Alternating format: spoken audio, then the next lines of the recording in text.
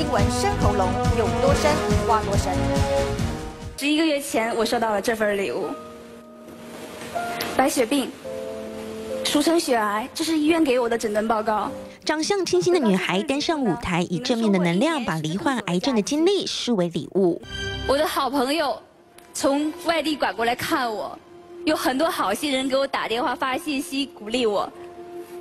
这是我在我生病之前完全无法想象的，所以我要感谢白血病，因为它让我知道。我其实一直是被爱着的。感人的演讲惹哭台下一票观众，就连导师之一的张卫健也不断咬嘴唇，强忍泪水。节目播出后，有网友一眼认出外表清秀的张小雨，先前也参加过表演节目，被誉为小章子怡。因为接受化疗，头发都掉光了，但她还是站出来鼓励所有的癌症病友。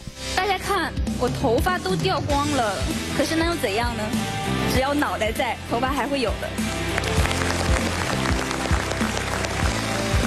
我觉得我光头还挺美的，你们说是不是？不光分享心情点滴，小章子怡还送上亲手捏制的 Q 版捏面人。她说：“只要自己还有一口气在，就希望每天都能捏制一种不一样的角色，证明自己还活着。”记者综合报道。